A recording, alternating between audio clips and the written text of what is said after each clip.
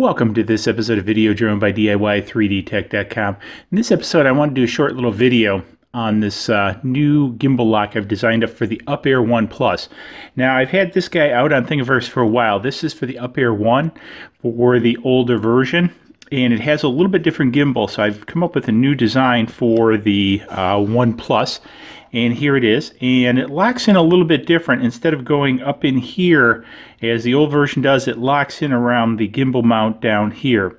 So kind of long story short it just slides in and uh, a little hard to do with one hand but what happens is it just slides over the camera like the other one does and over top of the uh, bracket as I bump the camera here um, and locks in.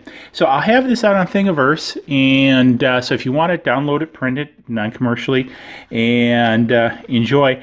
Also, for those without 3D printers, I'll do just like I did with the um, one version. I'll set up, and I'll have a link below for an eBay website uh, where you can order these. So uh, they're about going to be about uh, 15 bucks with about $3 shipping to the US. I'm only going to do the US because um, it's just uh, unfortunately too much of a pain in cost wise to do internationally. You got to fill out like 20 million forms and it's like 10 times the price to ship internationally. So sorry about that, folks. But domestically, that's what it's going to be. And again, it takes about an hour or so to print one of these, plus the plastics, plus the time trip to the post office and all that.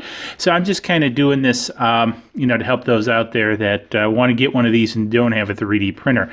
Also, um, you know, just a little bit of slack too on if you do buy one of these from the uh, eBay website. I travel a lot for business, so I typically ship these out on the weekends. So again, I'll have the link below for these on eBay if you're interested.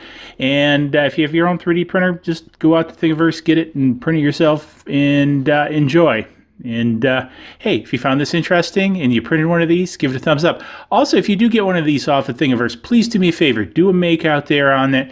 Show me a picture of it. Just, you know, kind of support me on Thingiverse. So for those that don't know too, is I also have another channel, DIY channel called DIY3DTech.com. Link will be below where I do all kinds of cool 3D printing, laser cutting, and CNC stuff. So if you're interested in that, hey, subscribe to that channel too. And again, let me know what you're thinking about for lunch. Big thumbs up, subscribe over there, and uh, we'll see you guys in the next video. Cheers.